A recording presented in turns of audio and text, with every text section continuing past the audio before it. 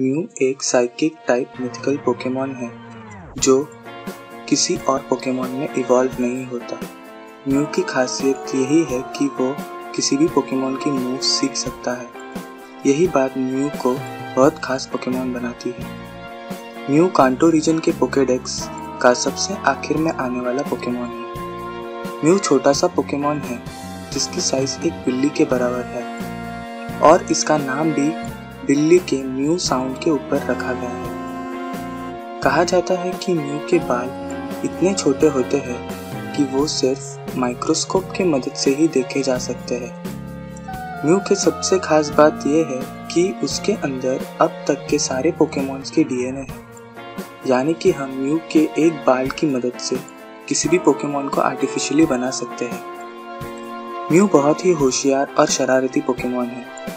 पर इसी के साथ म्यू पोकेमॉन्स के लिए अपनी जान भी दे सकता है। म्यू को हवा में आज़ादी से उड़ना या पानी में तैरना बहुत पसंद है।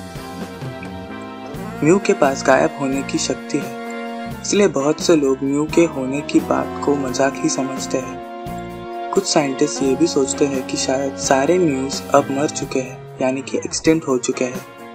ऐसा भी कहा जाता है कि म्यू सिर्फ़ एक साफ़ मन वाले इंसान को ही दिखाई देता है। म्यू को ज़्यादा बार सिर्फ़ गुयाना के जंगलों में ही देखा गया है। कुछ लोग ऐसा भी मानते हैं कि म्यू के बॉडी का शेप जेरबोआ नाम के एक छोटे से चूहे की प्रजाति जैसा दिखता है। साइंटिस्ट ने म्यू के बारे में और जानकारी निकालने की बहुत कोशिश की है, पर कभी कामयाब नहीं हो पाए। म्यू को पकड़ना टीम रॉकेट के गोल्स में से एक था। इसलिए उन्होंने गुयाना में अपनी रिसर्च शुरू कर दी थी।